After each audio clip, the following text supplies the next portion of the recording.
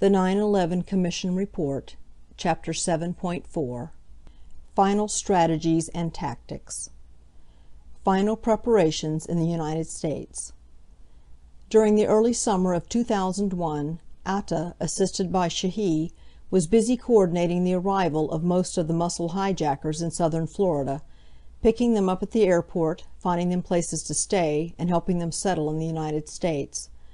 The majority settled in Florida. Some opened bank accounts, acquired mail boxes and rented cars. Several also joined local gyms, presumably to stay fit for the operation. Upon first arriving most stayed in hotels and motels, but by mid June they settled in shared apartments relatively close to one another and Atta. Though these muscle hijackers did not travel much after arriving in the United States, two of them, Walid al Shehri and Satam al Suqami, took unusual trips. On May 19th Shehri and Suqami flew from Fort Lauderdale to Freeport, the Bahamas, where they had reservations at the Bahamas Princess Resort. The two were turned away by Bahamian officials on arrival, however, because they lacked visas. They returned to Florida that same day. They likely took this trip to renew Suqami's immigration status, as Suqami's legal stay in the United States ended May 21st.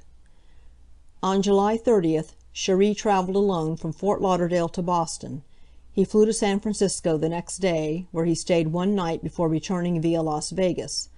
While this travel may have been a casing flight, Shehri traveled in first class on the same type of aircraft he would help hijack on September 11th, a Boeing 767, and the trip included a layover in Las Vegas.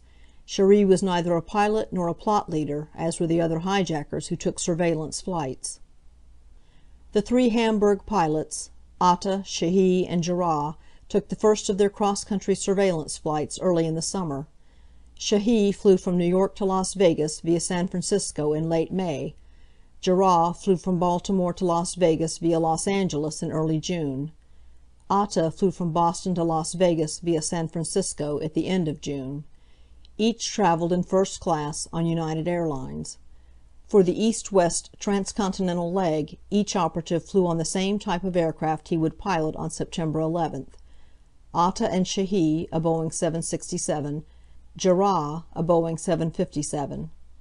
Hanjour and Hazmi, as noted below, took similar cross country surveillance flights in August. Jarrah and Hanjour also received additional training and practice flights in the early summer. A few days before departing on his cross country test flight Jarrah flew from Fort Lauderdale to Philadelphia, where he trained at Hortman Aviation and asked to fly the Hudson Corridor a low altitude hallway along the Hudson River that passes New York landmarks like the World Trade Center. Heavy traffic in the area can make the corridor a dangerous route for an inexperienced pilot. Because Hortman deemed Jarrah unfit to fly solo, he could fly this route only with an instructor. Hanjour, too, requested to fly the Hudson Corridor about this same time at Air Fleet Training Systems in Teterboro, New Jersey, where he started receiving ground instruction soon after settling in the area with Hazmi. Hanjour flew the Hudson Corridor, but his instructor declined a second request because of what he considered Hanjour's poor piloting skills. Shortly thereafter Hanjour switched to Caldwell Flight Academy in Fairfield, New Jersey, where he rented small aircraft on several occasions during June and July.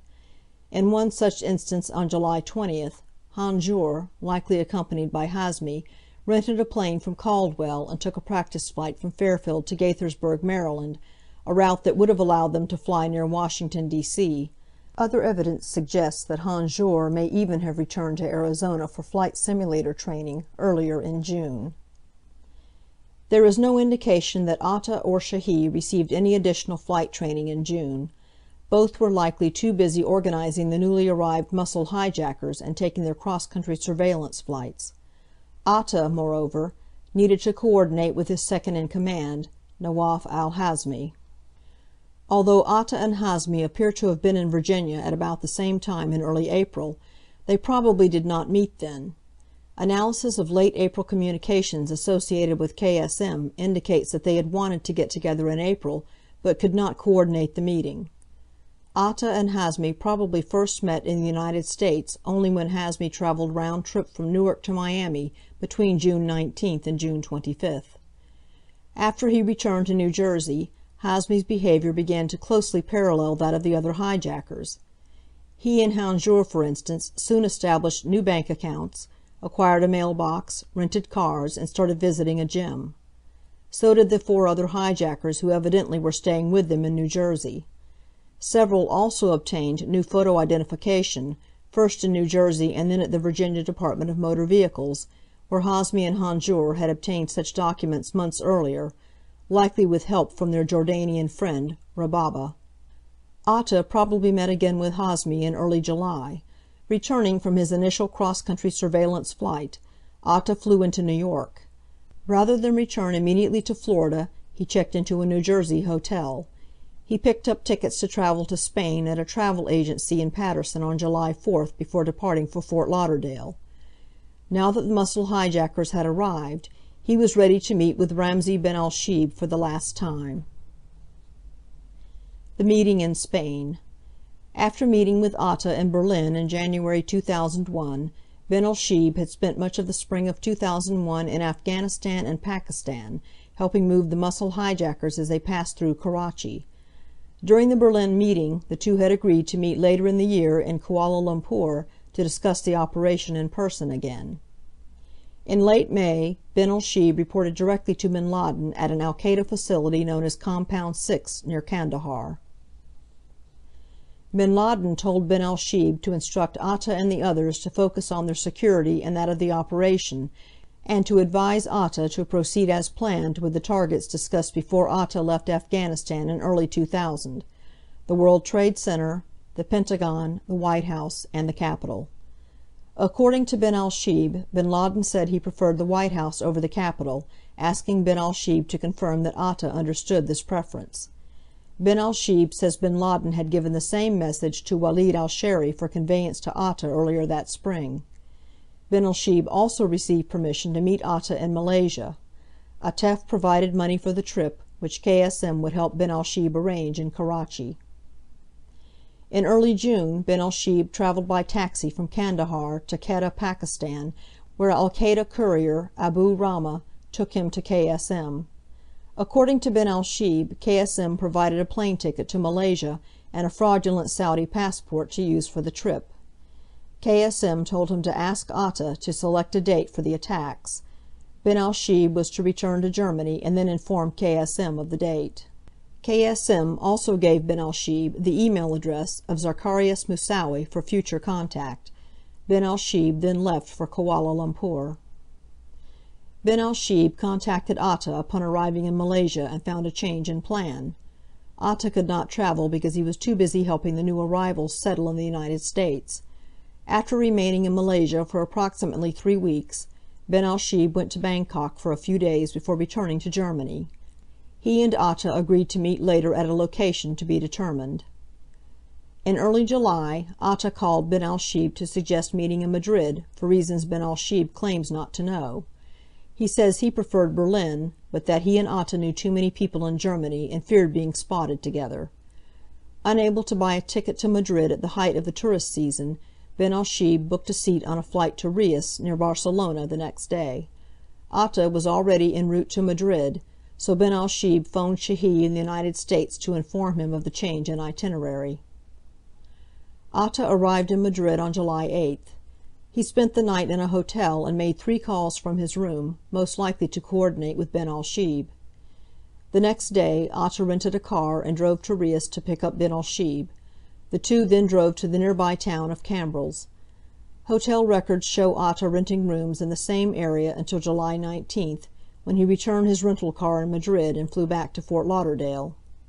On July 16th Ben Binalshibh returned to Hamburg, using a ticket Atta had purchased for him earlier that day. According to Binalshibh they did not meet with anyone else while in Spain. Binalshibh says he told Atta that Bin Laden wanted the attacks carried out as soon as possible. Bin Laden, Binalshibh conveyed, was worried about having so many operatives in the United States. Atta replied that he could not yet provide a date because he was too busy organizing the arriving hijackers and still needed to coordinate the timing of the flights so that the crashes would occur simultaneously. Atta said he required about five to six weeks before he could provide an attack date. Binalshibh advised Atta that Bin Laden had directed that the other operatives not be informed of the date until the last minute. Atta was to provide Ben Binalshibh with advance notice of at least a week or two so that Ben Binalshibh could travel to Afghanistan and report the date personally to Bin Laden. As to targets, Atta understood Bin Laden's interest in striking the White House. Atta said he thought this target too difficult, but had tasked Hazmi and Hanjour to evaluate its feasibility and was awaiting their answer. Atta said that those two operatives had rented small aircraft and flown reconnaissance flights near the Pentagon. Atta explained that Hanjour was assigned to attack the Pentagon, Jarrah the Capitol, and that both Atta and Shehi would hit the World Trade Center. If any pilot could not reach his intended target, he was to crash the plane. If Atta could not strike the World Trade Center, he planned to crash his aircraft directly into the streets of New York. Atta told Binalshibh that each pilot had volunteered for his assigned target, and that the assignments were subject to change. During the Spain meeting Atta also mentioned that he had considered targeting a nuclear facility he had seen during familiarization flights near New York, a target they referred to as "electrical engineering." According to Binalshibh the other pilots did not like the idea. They thought a nuclear target would be difficult because the air space around it was restricted, making reconnaissance flights impossible, and increasing the likelihood that any plane would be shot down before impact.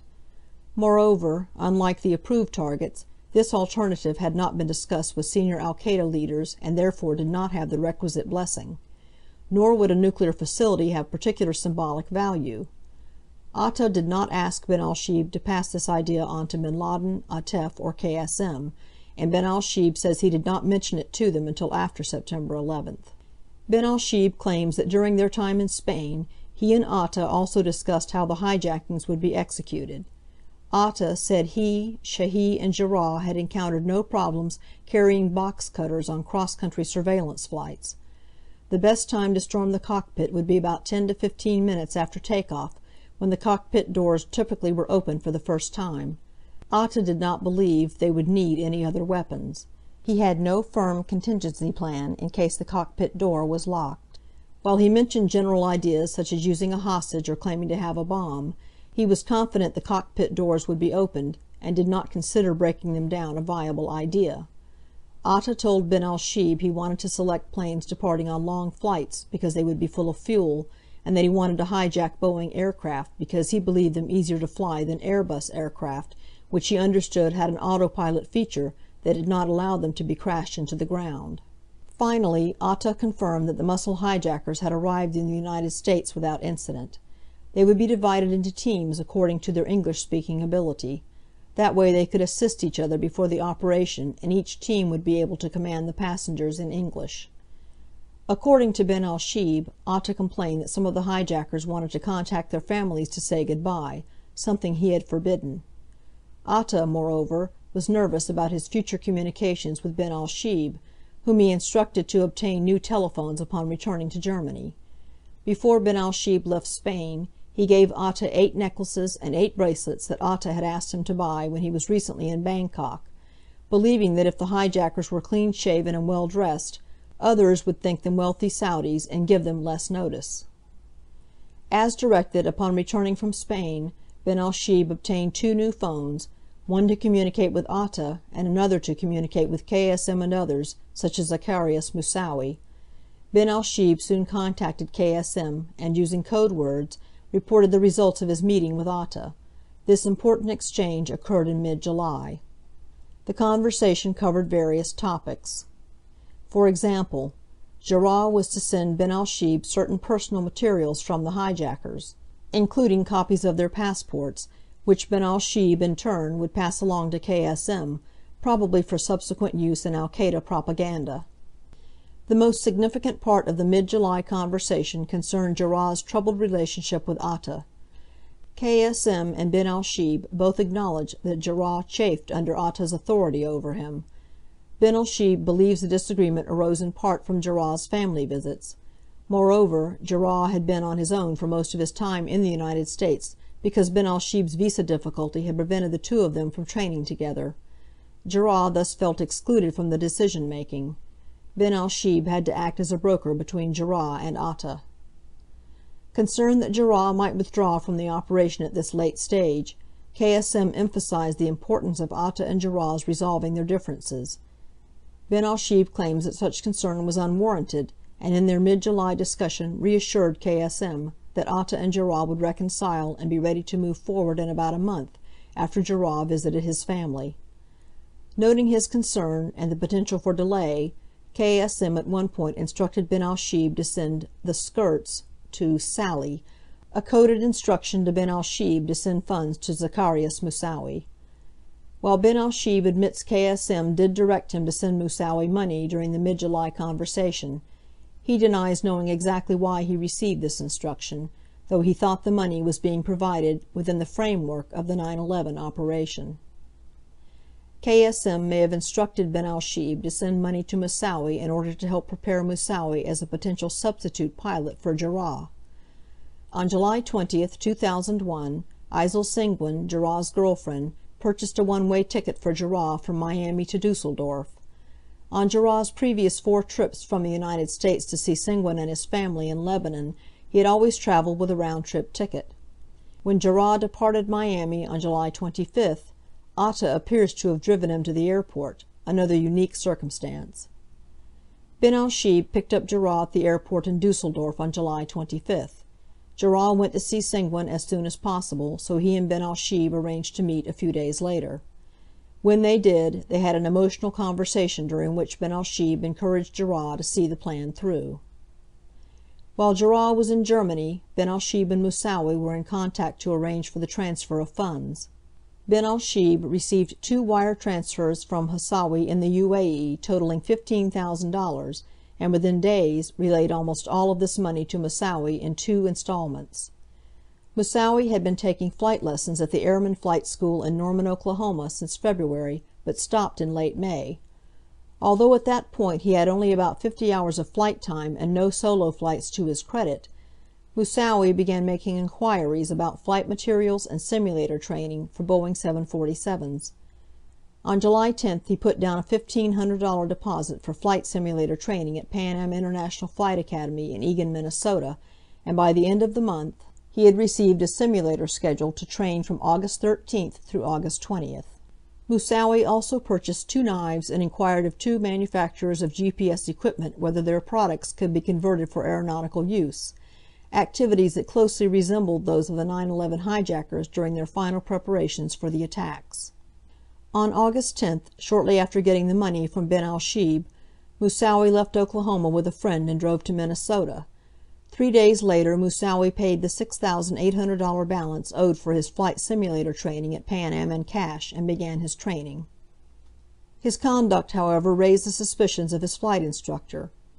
It was unusual for a student with so little training to be learning to fly large jets without any intention of obtaining a pilot's license or other goal. On August 16, once the instructor reported his suspicion to the authorities, Moussaoui was arrested by the INS on immigration charges. KSM denies ever considering Moussaoui for the planes operation. Instead, he claims that Moussaoui was slated to participate in a second wave of attacks. KSM also states that Moussaoui had no contact with Atta, and we are unaware of evidence contradicting this assertion. Yet KSM has also stated that by the summer of 2001 he was too busy with the planes operation to continue planning for any second wave attacks. Moreover, he admits that only three potential pilots were ever recruited for the alleged second wave Moussaoui plus two others, who by midsummer of 2001 had backed out of the plot. We therefore believe that the effort to push Moussaoui forward in August 2001 lends credence to the suspicion that he was being primed as a possible pilot in the immediate planes operation. Binalshibh says he assumed Moussaoui was to take his place as another pilot in the 9 11 operation. Recounting a post 9 11 discussion with KSM in Kandahar, Binalshibh claims KSM mentioned Moussaoui as being part of the 9 11 operation. Although KSM never referred to Moussaoui by name, Binalshibh understood he was speaking of the operative to whom Binalshibh had wired money. Binalshibh says KSM did not approve of Moussaoui, but believes KSM did not remove him from the operation only because Moussaoui had been selected and assigned by Bin Laden himself. KSM did not hear about Moussaoui's arrest until after September 11th. According to Binalshibh, had Bin Laden and KSM learned prior to 9 11 that Moussaoui had been detained, they might have cancelled the operation. When Binalshibh discussed Moussaoui's arrest with KSM after September 11th, KSM congratulated himself on not having Moussaoui contact the other operatives, which would have compromised the operation. Moussaoui had been in contact with Binalshibh, of course, but this was not discovered until after 9 11. As it turned out, Moussaoui was not needed to replace Jarrah. By the time Moussaoui was arrested in mid August Jarrah had returned to the United States from his final trip to Germany, his disagreement with Atta apparently resolved. The operatives began their final preparations for the attacks. Readying the Attacks A week after he returned from meeting Binalshibh in Spain, Atta travelled to Newark, probably to coordinate with Hazmi and give him additional funds. Atta spent a few days in the area before returning to Florida on July 30th. The month of August was busy, as revealed by a set of contemporaneous Atta Binalshibh communications that were recovered after September 11th. On August 3rd, for example, Atta and Ben Binalshibh discussed several matters, such as the best way for the operatives to purchase plane tickets and the assignment of muscle hijackers to individual teams. Atta and Binalshibh also revisited the question of whether to target the White House. They discussed targets in coded language pretending to be students discussing various fields of study. Architecture referred to the World Trade Center, arts the Pentagon, law the Capitol, and politics the White House. Binalshibh reminded Atta that Bin Laden wanted to target the White House. Atta again cautioned that this would be difficult. When Binalshibh persisted, Atta agreed to include the White House, but suggested they keep the Capitol as an alternate target in case the White House proved too difficult. Atta also suggested that the attacks would not happen until after the first week in September, when Congress reconvened. Atta and Binalshibh also discussed "the friend who is coming as a tourist," a cryptic reference to candidate hijacker Mohammed al Qahtani, mentioned above, whom Hawsawi was sending the next day, as "the last one," to complete the group. On August 4th Atta drove to the Orlando airport to meet Qahtani. Upon arrival, however, Qahtani was denied entry by immigration officials because he had a one way ticket and little money, could not speak English, and could not adequately explain what he intended to do in the United States. He was sent back to Dubai. Hawsawi contacted K.S.M., who told him to help Qahtani return to Pakistan. On August 7th Atta flew from Fort Lauderdale to Newark, probably to coordinate with Hazmi.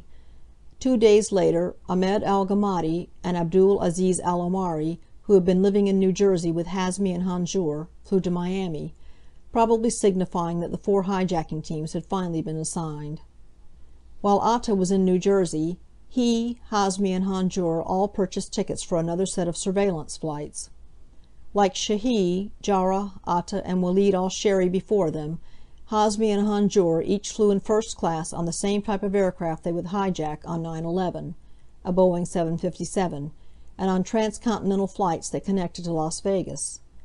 This time, however, Atta himself also flew directly to Las Vegas where all three stayed on August 13th to 14th. Beyond Las Vegas's reputation for welcoming tourists, we have seen no credible evidence explaining why, on this occasion and others the operatives flew to or met in Las Vegas. Through August the hijackers kept busy with their gym training, and the pilots took frequent practice flights on small rented aircraft. The operatives also began to make purchases suggesting that the planning was coming to an end. In mid August, for example, they bought small knives that may actually have been used in the attacks. On August 22nd, moreover, Jarrah attempted to purchase four GPS units from a pilot shop in Miami. He was able to buy only one unit, which he picked up a few days later when he also purchased three aeronautical charts. Perhaps most significant, however, was the purchase of plane tickets for September 11th. On August 23rd Atta again flew to Newark, probably to meet with Hazmi and select flights. All nineteen tickets were booked and purchased between August 25th and September 5th. It therefore appears that the attack date was selected by the third week of August. This timing is confirmed by Binalshibh, who claims Atta called him with the date in mid August. According to Binalshibh, Atta used a riddle to convey the date in code a message of two branches, a slash, and a lollipop. To non Americans 11 9 would be interpreted as September 11th. Binalshibh says he called Atta back to confirm the date before passing it to KSM. KSM apparently received the date from Binalshibh in a message sent through Binalshibh's old Hamburg associate, Zachariah Essabar. Both Binalshibh and KSM claim that Essabar was not privy to the meaning of the message and had no foreknowledge of the attacks. According to Binalshibh, shortly after the date was chosen, he advised Essabar and another Hamburg associate, Said Bahaji, that if they wanted to go to Afghanistan, now was the time because it would soon become more difficult. Essabar made reservations on August 22nd and departed Hamburg for Karachi on August 30th. Bahaji purchased his tickets on August 20th and departed Hamburg for Karachi on September 3rd. Binalshibh also made arrangements to leave for Pakistan during early September, before the attacks, as did Ali and Hawsawi, the plot facilitators in the U.A.E. During these final days, Binalshibh and Atta kept in contact by phone, email, and instant messaging. Although Atta had forbidden the hijackers to contact their families, he apparently placed one last call to his own father on September 9th. Atta also asked Binalshibh to contact the family of one hijacker, pass along goodbyes from others, and give regards to K.S.M.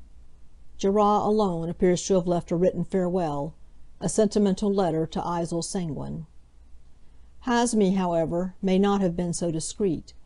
He may have telephoned his former San Diego companion, Modar Abdullah, in late August. Several bits of evidence indicate that others in Abdullah's circle may have received word that something big would soon happen. As noted earlier, Abdullah's behavior reportedly changed noticeably. Prior to September 11th, both he and Yazid al Salmi suddenly became intent on proceeding with their planned marriages. One witness quotes Salmi as commenting after the 9 11 attacks, I knew they were going to do something, that is why I got married. Moreover, as of August 2001, Iyad Kriwish and other employees at the Texaco station where Hazmi had worked suddenly were anticipating attention from law enforcement authorities in the near future. Finally, according to an uncorroborated witness account, early on the morning of September 10th, Abdullah, Osama Awadallah, Omar Bakarbashat, and others behaved suspiciously at the gas station. According to the witness, after the group met, Awadallah said, "It is finally going to happen," as the others celebrated by giving each other high fives. Dissent within the Al Qaeda leadership. While tactical preparations for the attack were nearing completion, the entire operation was being questioned at the top, as Al Qaeda and the Taliban argued over strategy for 2001. Our focus has naturally been on the specifics of the plane's operation. But from the perspective of Bin Laden and Atef this operation was only one, admittedly key element of their unfolding plans for the year. Living in Afghanistan, interacting constantly with the Taliban, the Al Qaeda leaders would never lose sight of the situation in that country. Bin Laden's consistent priority was to launch a major attack directly against the United States. He wanted the plane's operation to proceed as soon as possible. Mihdhar reportedly told his cousin during the summer of 2001 that Bin Laden was reputed to have remarked, "I will make it happen even if I do it by myself." According to KSM, Bin Laden had been urging him to advance the date of the attacks. In 2000, for instance, KSM remembers Bin Laden pushing him to launch the attacks amid the controversy after then Israeli opposition party leader Ariel Sharon's visit to the Temple Mount in Jerusalem. KSM claims Bin Laden told him it would be enough for the hijackers simply to down planes rather than crash them into specific targets. KSM says he resisted the pressure. KSM claims to have faced similar pressure twice more in 2001. According to him, Bin Laden wanted the operation carried out on May 12, 2001, seven months to the day after the Cole bombing. KSM adds that the 9 11 attacks had originally been envisioned for May 2001. The second time he was urged to launch the attacks early was in June or July 2001, supposedly after Bin Laden learned from the media that Sharon would be visiting the White House. On both occasions KSM resisted, asserting that the hijacking teams were not ready. Bin Laden pressed particularly strongly for the latter date in two letters, stressing the need to attack early.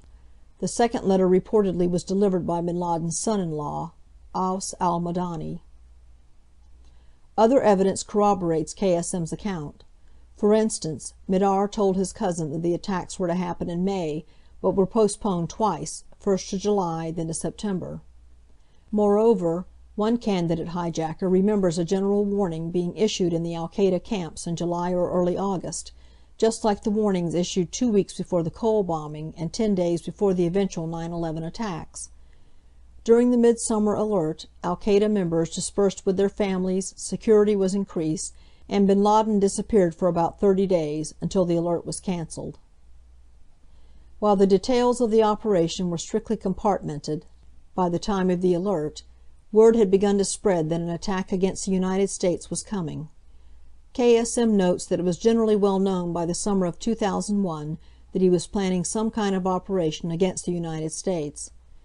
Many were even aware that he had been preparing operatives to go to the United States, leading some to conclude that Al Qaeda was planning a near term attack on U.S. soil.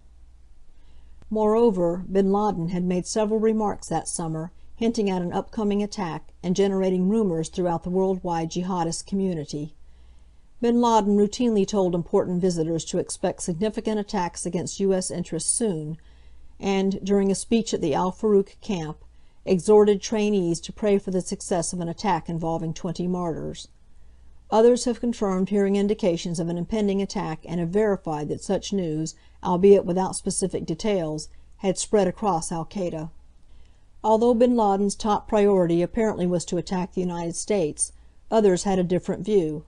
The Taliban leaders put their main emphasis on the year's military offensive against the Northern Alliance, an offensive that ordinarily would begin in the late spring or summer. They certainly hoped that this year's offensive would finally finish off their old enemies, driving them from Afghanistan. From the Taliban's perspective, an attack against the United States might be counterproductive. It might draw the Americans into the war against them, just when final victory seemed within their grasp. There is evidence that Mullah Omar initially opposed a major Al Qaeda operation directly against the United States in 2001. Furthermore, by July, with word spreading of a coming attack, a schism emerged among the senior leadership of Al Qaeda. Several senior members reportedly agreed with Mullah Omar. Those who reportedly sided with Bin Laden included Atef, Suleiman Abu Ghaith, and KSM. But those said to have opposed him were weighty figures in the organization, including Abu Hafs the Mauritanian, Sheikh Said al Masri, and Saif al Adel. One senior Al Qaeda operative claims to recall Bin Laden arguing that attacks against the United States needed to be carried out immediately to support insurgency in the Israeli occupied territories and protest the presence of U.S. forces in Saudi Arabia. Beyond these rhetorical appeals, Bin Laden also reportedly thought an attack against the United States would benefit Al Qaeda by attracting more suicide operatives, eliciting greater donations, and increasing the number of sympathizers willing to provide logistical assistance. Mullah Omar is reported to have opposed this course of action for ideological reasons rather than out of fear of U.S. retaliation. He is said to have preferred for Al Qaeda to attack Jews, not necessarily the United States. KSM contends that Omar faced pressure from the Pakistani government to keep Al Qaeda from engaging in operations outside Afghanistan. Al Qaeda's chief financial manager, Sheikh Said, argued that Al Qaeda should defer to the Taliban's wishes. Another source says that Sheikh Said opposed the operation, both out of deference to Omar and because he feared the U.S. response to an attack. Abu Hafs, the Mauritanian, reportedly even wrote Bin Laden a message basing opposition to the attacks on the Koran. According to KSM, in late August, when the operation was fully planned, Bin Laden formally notified the Al Qaeda Shura Council that a major attack against the United States would take place in the coming weeks. When some council members objected, Bin Laden countered that Mullah Omar lacked authority to prevent Al Qaeda from conducting jihad outside Afghanistan. Though most of the Shura Council reportedly disagreed, Bin Laden persisted. The attacks went forward. The story of dissension within Al Qaeda regarding the 9 11 attacks is probably incomplete. The information on which the account is based comes from sources who were not privy to the full scope of Al Qaeda and Taliban planning. Bin Laden and Atef, however, probably would have known, at least, that the general Taliban offensive against the Northern Alliance would rely on Al Qaeda military support. Another significant Al Qaeda operation was making progress during the summer a plot to assassinate the Northern Alliance leader, Ahmed Shah Massoud. The operatives, disguised as journalists, were in Massoud's camp and prepared to kill him some time in August. Their appointment to see him was delayed. But on September 9th the Massoud assassination took place.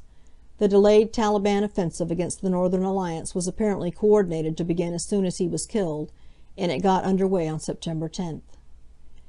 As they deliberated earlier in the year, Bin Laden and Atef would likely have remembered that Mullah Omar was dependent on them for the Massoud assassination and for vital support in the Taliban military operations. KSM remembers Atef telling him that Al Qaeda had an agreement with the Taliban to eliminate Massoud, after which the Taliban would begin an offensive to take over Afghanistan. Atef hoped Massoud's death would also appease the Taliban when the 9 11 attacks happened. There are also some scant indications that Omar may have been reconciled to the 9 11 attacks by the time they occurred. Moving to departure positions. In the days just before 9 11 the hijackers returned leftover funds to Al Qaeda and assembled in their departure cities. They sent the excess funds by wire transfer to Hawsawi in the U.A.E., about $26,000 altogether. The hijackers targeting American Airlines Flight 77, to depart from Dulles, migrated from New Jersey to Laurel, Maryland, about 20 miles from Washington, D.C. They stayed in a motel during the first week in September and spent time working out at a gym. On the final night before the attacks they lodged at a hotel in Herndon, Virginia, close to the airport. Further north, the hijackers targeting United Airlines Flight 93, to depart from Newark, gathered in that city from their base in Florida on September 7th. Just after midnight on September 8th 9th, Jarrah received a speeding ticket in Maryland as he headed north on I 95. He joined the rest of his team at their hotel. Atta was still busy coordinating the teams. On September 7th he flew from Fort Lauderdale to Baltimore, presumably to meet with the Flight 77 team in Laurel. On September 9th he flew from Baltimore to Boston. By then Shehi had arrived there, and Atta was seen with him at his hotel. The next day Atta picked up Omari at another hotel, and the two drove to Portland, Maine, for reasons that remain unknown. In the early morning hours of September 11th they boarded a commuter flight to Boston to connect to American Airlines Flight 11. The two spent their last night pursuing ordinary activities, making A.T.M. withdrawals, eating pizza, and shopping at a convenience store. Their three fellow hijackers for Flight 11 stayed together in a hotel in Newton, Massachusetts, just outside of Boston. Shehi and his team targeting United Airlines Flight 175 from Logan Airport spent their last hours at two Boston hotels. The plan that started with a proposal by KSM in 1996 had evolved to overcome numerous obstacles. Now nineteen men waited in nondescript hotel rooms to board four flights the next morning. End of Chapter 7.4 The 9/11 Commission Report, Chapter 7.4 Final Strategies and Tactics. Final Preparations in the United States. During the early summer of 2001 Atta, assisted by Shehi, was busy coordinating the arrival of most of the muscle hijackers in southern Florida picking them up at the airport, finding them places to stay, and helping them settle in the United States. The majority settled in Florida. Some opened bank accounts, acquired mailboxes and rented cars. Several also joined local gyms, presumably to stay fit for the operation. Upon first arriving most stayed in hotels and motels, but by mid June they settled in shared apartments relatively close to one another and Atta. Though these muscle at the same time at Air Fleet Training Systems in Teterboro, New Jersey, where he started receiving ground instruction soon after settling in the area with Hazmi. Hanjour flew the Hudson Corridor, but his instructor declined a second request because of what he considered Hanjour's poor piloting skills. Shortly thereafter Hanjour switched to Caldwell Flight Academy in Fairfield, New Jersey, where he rented small aircraft on several occasions during June and July. In one such instance on July 20, Hanjour likely accompanied by Hazmi, rented a plane from Caldwell and took a practice flight from Fairfield to Gaithersburg, Maryland, a route that would have allowed them to fly near Washington, D.C. Other evidence suggests that Hanjour may even have returned to Arizona for flight simulator training earlier in June. Atta and Shehi, a Boeing 767, Jarrah, a Boeing 757. Hanjour and Hazmi, as noted below, took similar cross country surveillance flights in August. Jarrah and Hanjour also received additional training and practice flights in the early summer. A few days before departing on his cross country test flight, Jarrah flew from Fort Lauderdale to Philadelphia, where he trained at Hortman Aviation and asked to fly the Hudson Corridor, a low altitude hallway along the Hudson River that passes New York landmarks like the World Trade Center. Heavy traffic in the area can make the corridor a dangerous route for an inexperienced pilot. Because Hortman deemed Jarrah unfit to fly solo, he could fly this route only with an instructor. Hanjour, too, requested to fly the Hudson Corridor about hijackers did not travel much after arriving in the United States; two of them, Walid al Shehri and Satam al Suqami, took unusual trips.